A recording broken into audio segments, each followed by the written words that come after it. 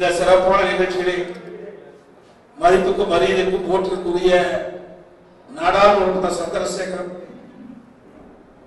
அவர் சொந்த தொகுதி போல நம்முடைய தொகுதியை பாவித்து நம்முடைய தொகுதி மக்கள் வைக்கின்ற கோரிக்கையை அவ்வப்போது பலவற்றை நிறைவேற்றிக் கொண்டு வருகிறார்.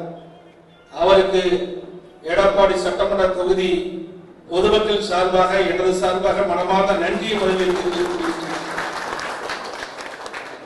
இப்பொழுது கூட அவருடைய நாடாளுமன்ற நிதியிலிருந்து சுமார் இரண்டு கோடி ரூபாய் எடப்பாடி சட்டமன்ற தொகுதியின் பல்வேறு திட்டப் பணிகளுக்கு நிதி ஒதுக்கீடு செய்திருக்கிறார். அவருக்கு மீண்டும் ஒரு முறை நன்றியை தெரிவித்துக்கிறேன் மக்கள் சார்பாக எனது சார்பாக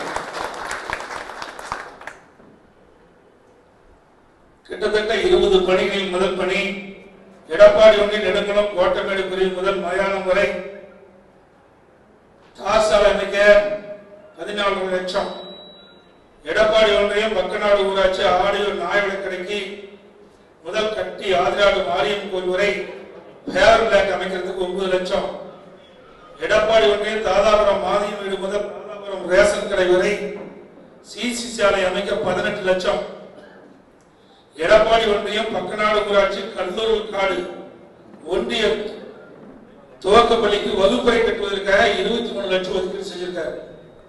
கொங்கனாவரம் ஊராட்சி ஒன்றியம் கட்சிப்புள்ளி அழகம்பாளையம் பச்சியம்மன் நகர் பகுதிக்கு ஃபேவர் பிளாக் அமைக்க ஏழு லட்சம் ஒதுக்கியிருக்கார் கொங்கனாவரம் ஊராட்சி ஒன்றியம் கோணசமுத்திரம் சேவா கொண்டம் வலுவு வேங்கி முதல் போர்மன் வீடு வரை கான்கிரீட் சாலை அமைக்க ஏழு லட்சம் கொடுத்திருக்காரு.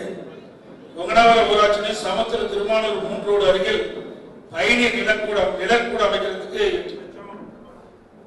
வனவாசி பேரூராட்சி பதினொன்றாவது வார்டு சி. செல்வராஜ் முதல் சாயக்கார் குமார் வீடு வழியாக குலசேகர் வீடு வரை அங்கே நானூறு மீட்டர் சாலையுடன் கூடிய காலனி சின்னப்பன் வீடு முதல் நீரோடை வரை வடிகால் அமைப்பதற்காக இருபத்தி இரண்டு லட்சம் இந்த நிதியிலிருந்து ஒதுக்கீடு செஞ்சிருக்காரு கூலம்பட்டி பேரூராட்சி என் பத்து தோட்டக்காடு வளவு காலனி சின்னப்பன் வீடு முதல் நீரோடு வரை வடிகால் அமைப்பதற்காக ஒன்பது லட்சம் சலனாபுரம் பேராட்சி ஒன்பதாம் வார்டு பாடம்.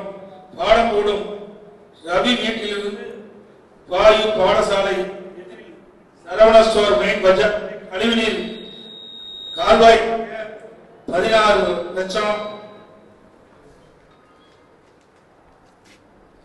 ஜலனாபுரம் மாதர் சங்க வீதியில் இருந்து பாலச்சந்திரன் வீட்டின் அருகில் உள்ள மேற்கு பக்கம் சீரக சிறிது வரை உள்ள கால் கழிவுநீர் கல்வாய் அமைக்க மூன்று லட்சம்.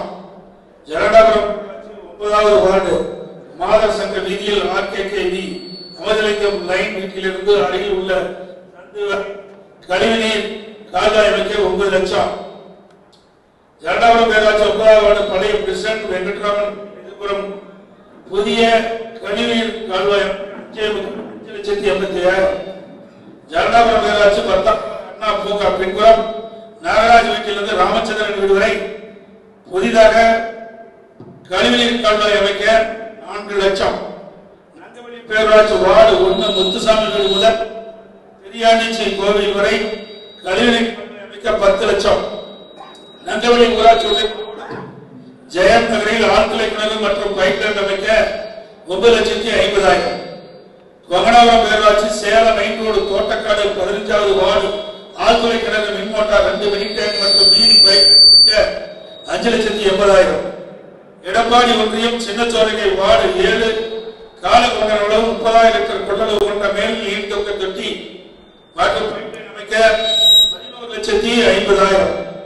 நங்கவலி ஒன்றியம் வார்டு நாலு ரதமினி கந்தம் விடுவதை வையாபுரி விடுவதை சாலை அமைக்க பூஜ்ஜியம் ஐம்பத்தி எட்டாயிரம் நங்கவலி ஒன்றிய ஆவடி முசிலாண்டி வளவு அருகில் குடியிருப்பு அமைக்க ஒரு லட்சத்தி எண்பதாயிரம் மொத்தம் சுமார் இரண்டு கோடி ரூபாய்.